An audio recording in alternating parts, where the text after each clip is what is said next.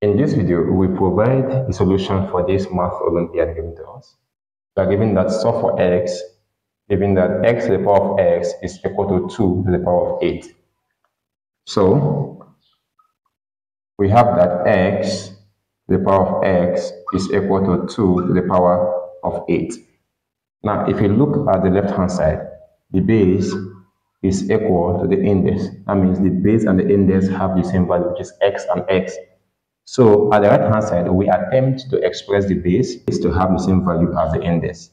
Now, we know that the right hand side can be expressed as 2 raised to the power of 2 times 4 because 2 times 4 is 8. Yes, so x raised to the power of x is equal to 2 raised to the power of 2 all raised to the power of 4. And 2 raised to the power of 2 is equal to 4 so therefore, x to the power of x is equal to 4 to the power of 4.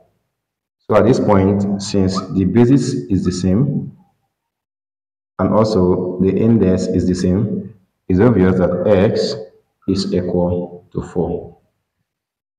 Thank you. Thank you so much for watching.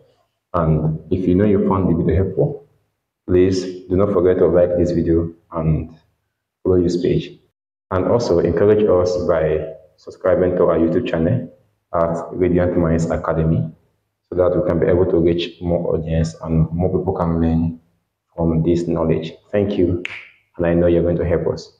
Bye.